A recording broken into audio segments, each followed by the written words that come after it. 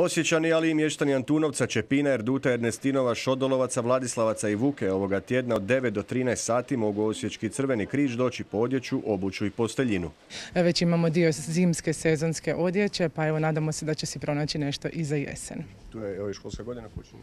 Tako je, počinje školska godina, upravo zbog toga izabrali smo ovaj tjedan kada se evo polako i roditelji i bake i djedovi i dječica pripremaju za školsku godinu, pa se nadamo da će se zaista u socijalnom servisu e, evo uspjeti pronaći nešto za sebe i na taj način da im olakšamo ove neke teže troškove koji se pojavljuju u rujnu. Među vrijednim volonterima i stariji sugrađani. Uz naše redovne volontere, dakle naše mlade i nešto starije volontere koji su e, redovni sudionici ovog programa socijalnog servisa. Evo ovaj tjedan su uključeni i članovi Matice umirovljenika grada Osijeka, naše suradne organizacije s kojom evo često provodimo zajedničke programe, tako da i njihovi članovi ovaj tjedan pomažu ovdje i na tome im zahvaljujemo.